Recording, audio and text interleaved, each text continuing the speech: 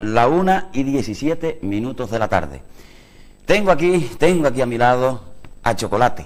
Hola, Miguel. Chocolate Armenteros. ¿Se te puede llamar así, Toño? No, no, el Armentero tiene mucha clase. Eh, eh, Toño Chocolate, director de, de Mamelucos. Y la primera pregunta que se me ocurre, a mote pronto, Toño, el título de la canción de ustedes, del gobierno autónomo, como pasando por el... ¿Qué, ah, de la, de la fantasía, sí, Sí. De la fantasía es del gobierno de Canarias Sí. paseando a García Sanabria.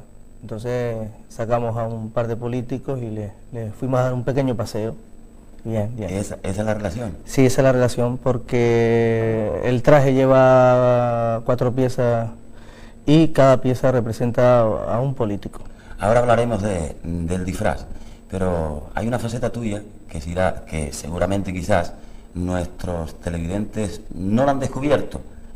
Tú eres burguero, pero además eres un salsero, eres un salsero. Los programas de radio tú te vienes por la emisora, oye Miguel, este distrito, este distrito Hombre, la gusta, me salsa, la salsa, gusta". la salsa es una música que de poco para acá, concretamente aquí en Canarias, tiene un auge increíble y entonces, pues de estar con muchos compañeros de la murga que, que son una gente forofa, pues se me ha pegado y, y la verdad que me paso muchas horas escuchando discos de salsa, ¿no? Tito Nieves, Frankie Ruiz, toda una gente que como tú bien sabes y más conoces que yo, pues bueno, es una Mm. música que, que incluso para esta fiesta es la mejor.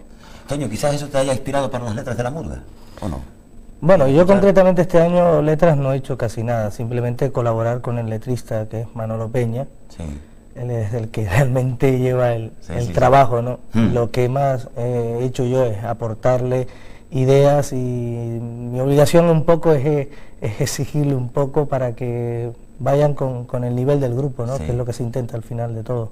Eh, Toño, mm, eh, quizás se podrá decir, no lo sé, pero quizás se podrá decir que los mamelucos son murga espectáculo. A mí, yo recuerdo que me decía Enrique, de la Nifunifa, sino que se está perdiendo el sentido tradicional de la murga de siempre. Ahora va mucho más colorido, más espectáculo, más voces.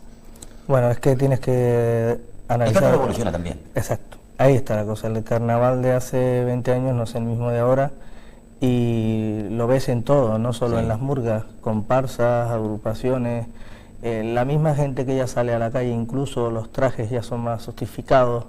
Es que va con, con el momento, el nivel que ha llegado el carnaval de Santa Cruz ya te pide que, que tú estés como mínimo a, sí. a ese nivel. Ya no puedes llegar a cantar eh, como se cantaba anteriormente. Yo recuerdo hace muchos años que en la Plaza de Toros el, el concurso de Murgas acudían unas cuantas personas.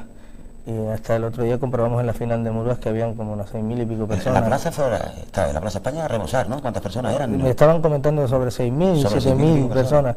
Antes no veías eso en un concurso, entonces, pues bueno, por el embellecimiento de todos, el esfuerzo de todas las murgas, por Mm. supuesto, ha, ha llevado a que, que en la Plaza de España o donde lo hagan ya, Mm. eh, acuda un mogollón de gente. Toño, seguramente nuestros telespectadores están ansiosos de ver un- las imágenes del, de ese concurso, el final de Murgas que se celebró el pasado viernes, con un súper colorido, que yo se lo decía antes a la gente, un súper colorido selvático, porque este año vamos de tu disfraz va de selva, ¿no? Sí, va de la selva. Y si te parece, me echas una manita y comentamos las imágenes mientras el público Pues las bien, ve. vamos a verla. Mira el monitor y vamos a ir viendo e- esas imágenes. A ver si nuestro realizador, Rafael Ford, ahí están. Las estamos viendo. Vemos ahora mismo el... Ve- estamos, brazo. va- ve- vemos ahí una Sí. serpiente Mm. Y, bueno, el negro, ¿lo ves? Ah, el ¿Y, quién, y quién es el negro? El negro se nos hace recordar por la tez de su piel a, a don Lorenzo Larte. Sí.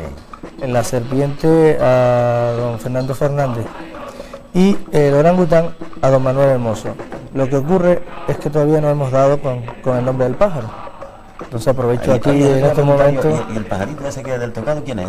Es que aprovecho, por Sí. si a alguien se le ocurre algún nombre, pues nada, que, que nos lo comunique porque todavía no hemos dado con el nombre del pájaro.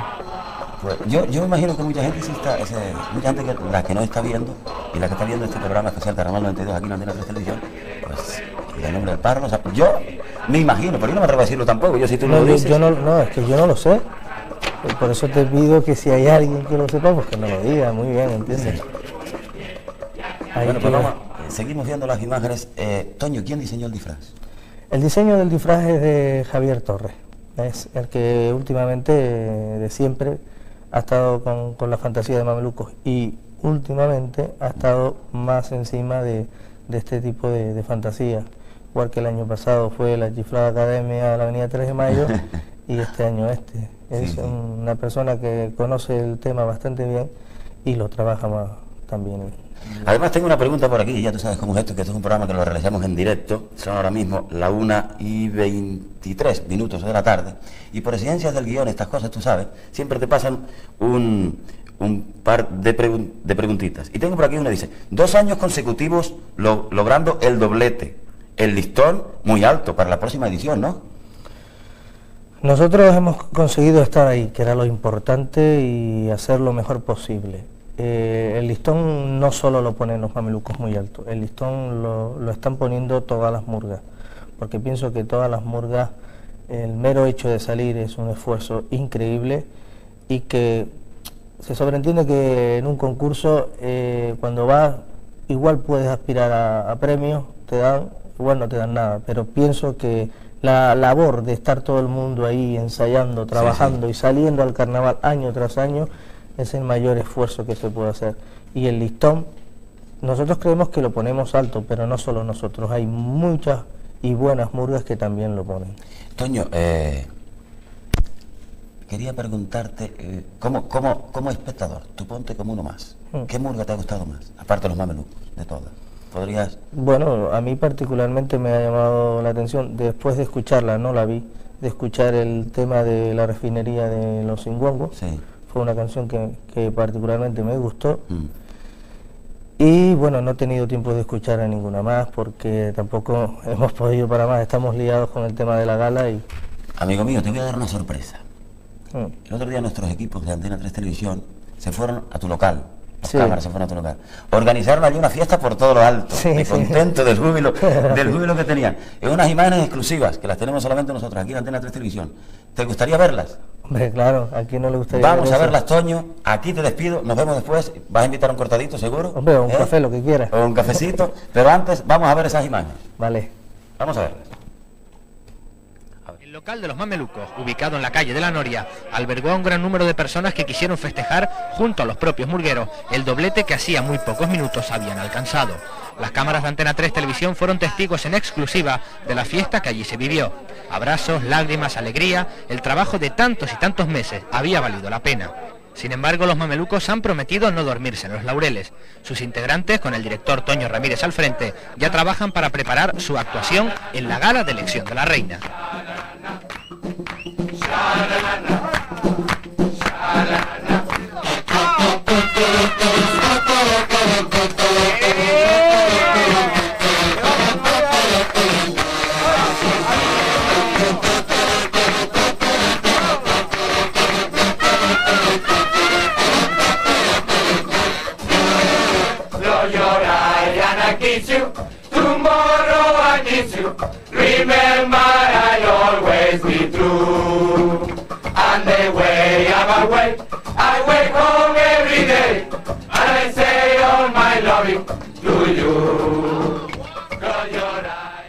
Bueno, pues ya han visto ustedes qué alegría, y es que no es para menos. Primer premio en presentación, primer premio